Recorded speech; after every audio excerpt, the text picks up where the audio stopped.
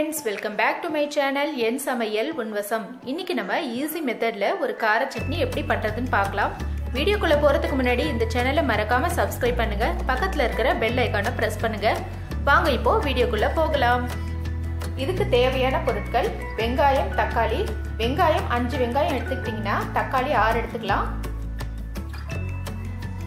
இந்த கார chutney one week வரைக்கும் ஸ்டோர் பண்ணி வச்சிருந்து சாப்பிடலாம். அதிக பொருள் செலவும் கிடையாது. வேலையும் கம்மியா இருக்கும். வாங்க இது எப்படி செய்யறதுன்னு பார்க்கலாம்.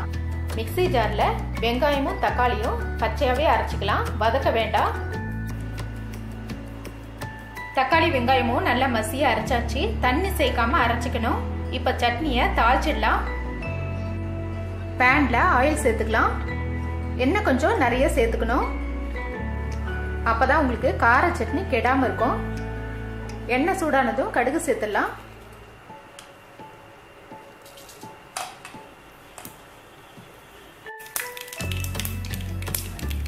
அரைச்சி வச்ச தக்காளி வெங்காய பேஸ்ட்டை கொஞ்சம் கொஞ்சமாக சேர்த்துடலாம்.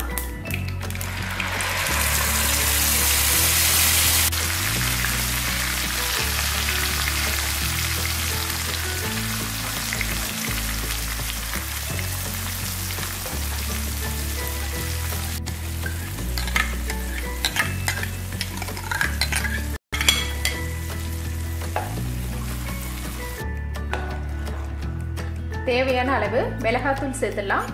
வெறும் மிளகாத்தூள் சேர்த்துக்கோங்க. உங்க காரத்துக்கு ஏத்த மாதிரி.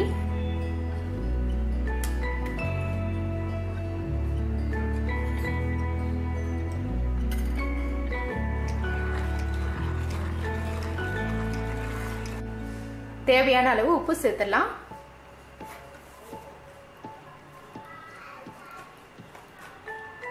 சேர்த்துட்டு நல்லா கலந்து விட்டுலாம்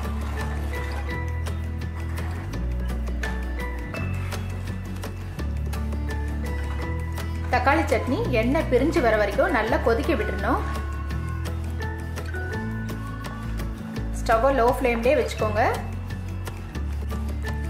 ஃப்ரிட்ஜில் வைக்காம வெளியே வச்சு சாப்பிட்டீங்கன்னா ஒரு வாரம் வரைக்கும் தாங்கும். ஃப்ரிட்ஜில் வைக்கும் போது ரெண்டு மூணு வாரம் வரைக்கும் நல்லா கெடாமல் இருக்கும். கொதிக்கும் போது மூடி வச்சிடுங்க. இல்லைன்னா மேலே தெறிக்க ஆரம்பிச்சிடும். இந்த கார சட்னிக்கு இஞ்சி பூண்டு எதுவுமே சேர்க்கல. வெறும் மிளகாத்தூள் தக்காளி வெங்காயம் தான் சேர்த்துருக்கோம். நம்ம இங்கே டிராவல் பண்ணும்போது இந்த கார சட்னியை செஞ்சு எடுத்துகிட்டு போகலாம் இட்லி தோசைக்கெல்லாம் ரொம்ப நல்லா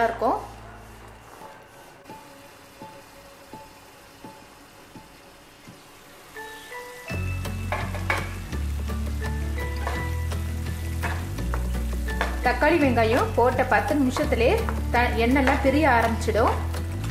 அந்த நேரத்தில் ஸ்டவ் ஆஃப் பண்ணிடாதீங்க. ஒரு இருபத்தஞ்சி நிமிஷம் ஸ்டவ்வை லோ ஃப்ளேம்லேயே வச்சு நல்லா கொதிக்க விட்டுறணும். இதில் தக்காளி வெங்காயம் நம்ம பச்சையாக சேர்த்துருக்கிறதுனால. இப்போ திரும்ப மூடி வச்சிடலாம். இன்னும் ஒரு பத்து நிமிஷம் கொதி வரட்டும்.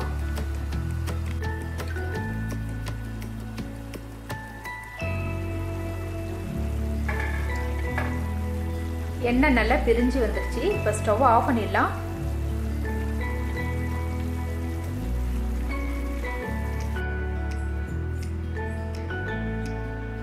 இப்போ நம்மளோட சுவையான தக்காளி சட்னி ரெடி ஆயிடுச்சு. இதே அளவோட நீங்கள் வீட்டில் கண்டிப்பாக ட்ரை பண்ணி பாருங்கள் இந்த வீடியோ உங்களுக்கு பிடிச்சிருந்தா லைக் பண்ணுங்கள் ஷேர் பண்ணுங்கள் மறக்காமல் என் சமையல் உன்வசம் சேனலுக்கு சப்ஸ்கிரைப் பண்ணுங்கள் தேங்க்ஸ் ஃபார் வாட்சிங்